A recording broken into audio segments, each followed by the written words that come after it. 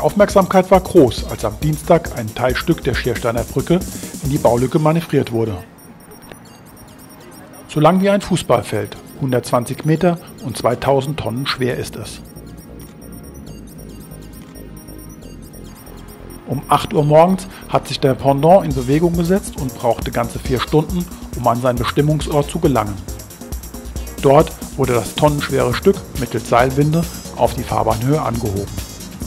Die gesamte Baumaßnahme inklusive Ausbau des Schiersteiner Kreuzes wird mit 260 Millionen Euro veranschlagt.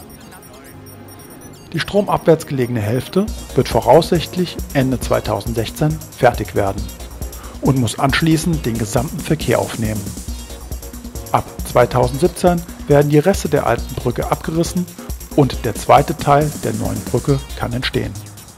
Deren Fertigstellung ist dann aber erst für Mitte 2020 geplant.